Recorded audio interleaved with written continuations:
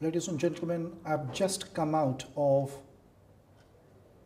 our manufacturing and materials MSc and MDes group project presentation day. And I thought I'd share my views, how did, how did the day go, and what actually happened here. We had 145 students presenting their work for three months in a group. 26 projects were presented today during the day in parallel sessions. And they're sponsored by 35 industry and other organizations.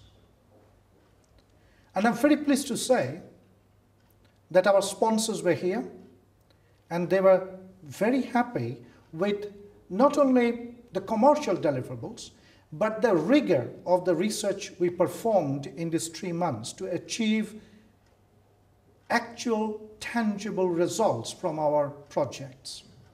And that gives a very good experience for our master students how to work with industry, how to work on industrial real life problems. And I was quite impressed the way they answered their questions too. Uh, you know, against some very challenging industrial sponsors. For your information, we are launching 145 individual projects on 7th of May. And we have more projects than student could do. We have 190 projects for 145 students. And this shows what Cranfield is good about and good at. It's about working with industry. I have just came out from the last session of the group presentation day here in Cranfield and we had the chance to see a number of different projects coming from three different programs here in Manufacturing Materials Department. Uh, basically it was about materials, about manufacturing and about design as well.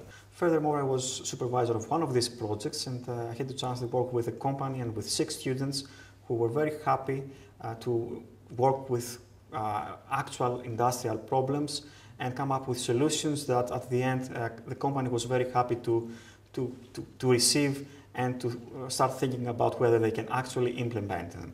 Uh, as it is already known, on the 7th of May we are starting a number of individual projects and we will again have the chance to work with companies and we work with uh, students and uh, come up with Uh, real added value solutions for these companies.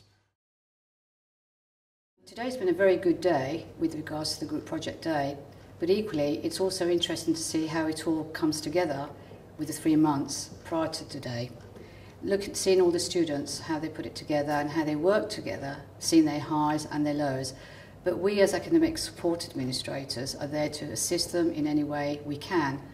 And it's really nice to see today that they've actually cracked it and they're not so tired, they're looking happy with themselves, and also interesting to meet some of the sponsors relating to their group project.